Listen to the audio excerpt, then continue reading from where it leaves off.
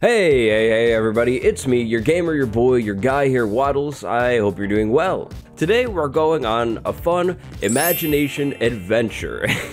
Today, I've thought up five possible alternate Minecraft 1.16 update themes if the unfortunate circumstance occurs that 1.16 doesn't end up being a cave update, which, of course, we are all hoping for. Remember that this is all just for fun. I've got some sweet minigame footage in the background. If you like this style of video, drop a like, hit that sub button, become a waddler today, and grab your gamer gear. It's down below in the description. With that, let's move on to my first imagination station. Ah, so Minecraft update theme number one. But first, sometimes there's absolutely no ground for any of these. These are like made up ideas that I thought would be cool. Some of these ideas are meant to basically improve things that are already in the game. Some of them are, uh, again, just completely random. So, anyways, update number one, concept one, I've got to do it to you. It is a sky update. The overworld, or just, I guess, the world, has received many changes throughout Minecraft's lifecycle. The things that haven't are the caves, which we can't talk about mm-hmm. today, and the sky. I mean, look up in the air. it's all just blue, and there's the floating clouds, and, you know, it's cool. It's a sky. It works, but this is a video game.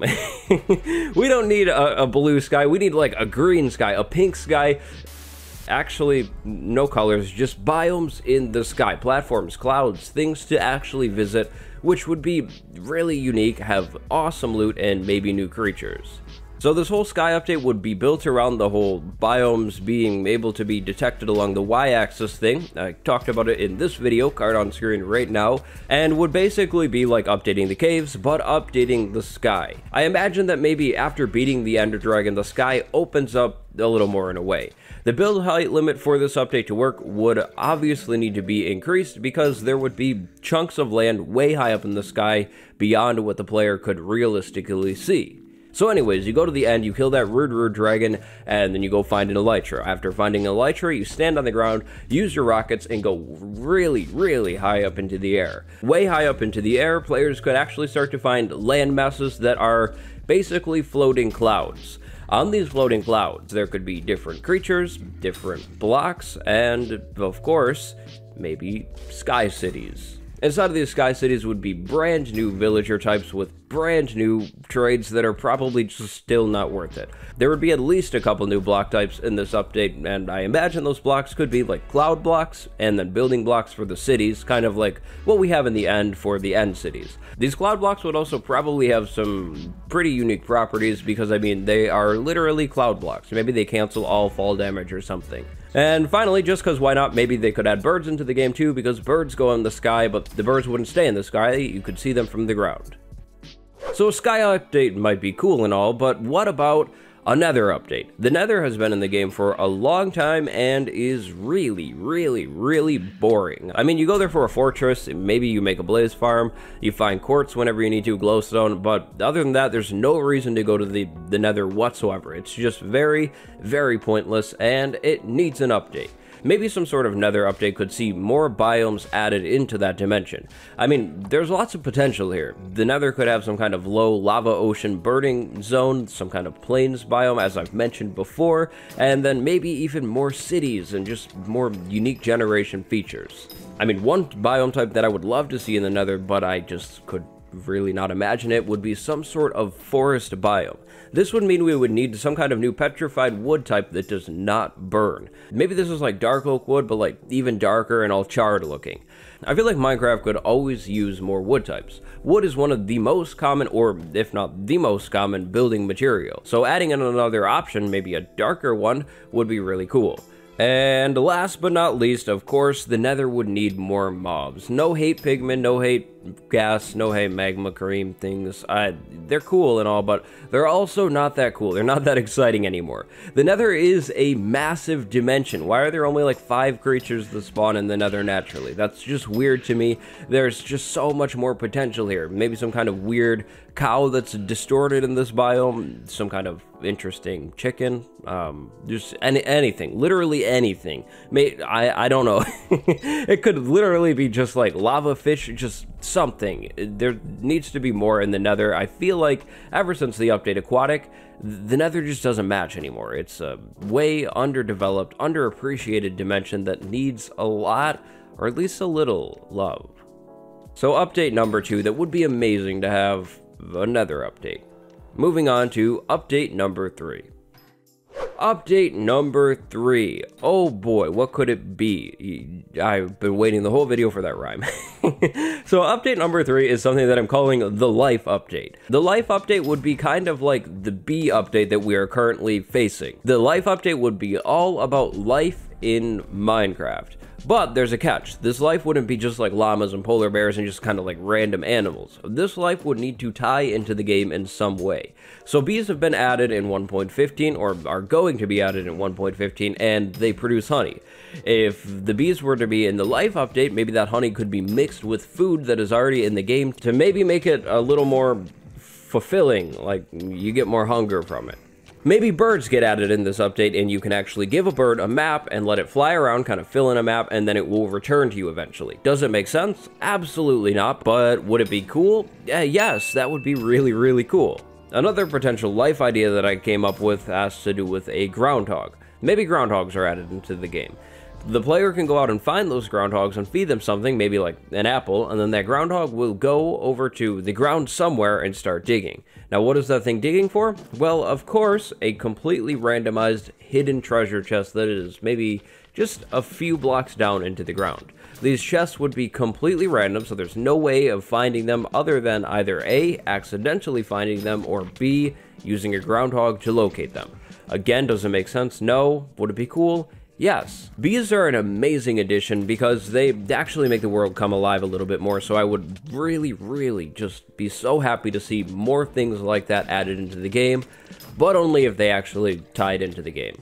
Again, the focus of this whole update would literally just be adding more life that interacts with the player and the world around it into the game. As Minecraft moves forward and continues to get more and more updates, there is going to be more and more content. Without taking a break to add more life into the game, Minecraft could begin to feel even more eerily empty, uh, uh, kind of like it does right now in a single player world. It's just weird, uh, you're, you're alone, and if you start thinking about it, your mind goes into some weird area, and that's why I don't think about it. Um, I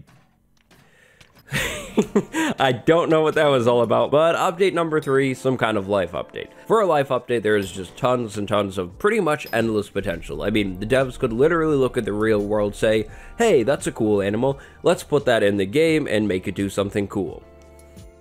Alright, next on our update list today, we have none other than the tasty, tasty, tasty idea. Maybe in some alternate universe, Minecraft 1.16 could actually turn out to be some sort of food update. I mean, if you take a look at the food in the game, it works well, but it also sort of lacks a lot of depth. Many of the more recent Minecraft updates have added more depth to the game in some way or another. The food, however, that has remained unchanged.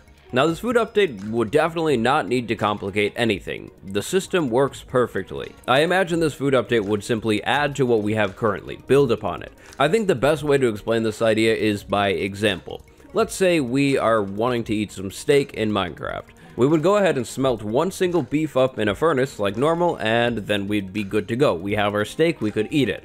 But there would actually be more that we could do to that steak if we wanted to improve it. Maybe we add some sort of spice to the steak and that would make us move faster for a little while. Maybe we add like sugar to the steak and, and you know, now that I think about it, that sounds like it would taste horrendous, but maybe the sugar grants some kind of other buff. Basically, the whole concept behind this one is being able to add more ingredients to the food that we already have, and those ingredients would grant certain types of benefits. There would probably need to be some sort of new cooking workstation block added into the game for this. But overall, nothing would change at all. Food could still be eaten like normal, only with this update, food could also be improved if the player were willing to put a little bit more time into those delicious tasty eats.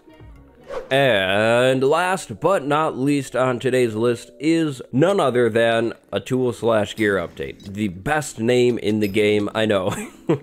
so this tool and gear update would tie into the smithing and fletching table. Those two things, yep, yep, remember them? They're useless still. They need a use. Now, admittedly, this tool and gear update would be a whole lot better if there was some kind of cave update with new ores added, but Eh, pretending we don't even have that, the tools that are in the game currently could simply be improved. Perhaps players could add buffs to their tools with the smithing table, and maybe players could add buffs and maybe actually craft tipped arrows with the fletching table. Now going back to the whole buff thing with the smithing table, I'm not talking about enchantments. I'm saying maybe you take a sword to a smithing table and you make it attack faster because you shortened the sword, or you make it attack slower but hit harder because you made it longer. Same thing could happen with the pickaxe, um, minus the cursed pickaxe memes, no, none of that. I think both of these tables have amazing potential if used correctly.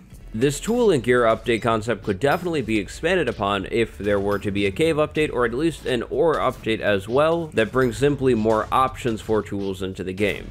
Maybe this tool and gear update could also include armor buffs, customizations, and maybe even new variants. As it stands right now, the tool system is just plain old, old. There's nothing wrong with it, that's just been unchanged for so, so long.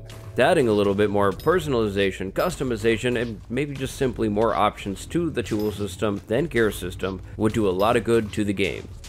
And so those are four updates that I think could be cool to see if we unfortunately don't get a cave update. Now, again, of course, I'm really, really hoping for a cave update at this point. I think that would be amazing, and there could be just so, so much added into Minecraft just by updating the caves. So which update theme do you like the most? Do you like the sky one? Do you like the life one? Share your thoughts down below. What update would you add into Minecraft if you could add any update in the world? Thank you very much for watching. If you enjoyed this video, drop a like, hit that subscribe button, turn those bells on, make them make them ring every time I upload, and thank you for watching. Today, I'd like to send a special thank you, a special shout out to my wonderful patron, Spaghetti Dude. Thank you for the support. And last but not least, I'd like to leave you gamers off with this meme that I made.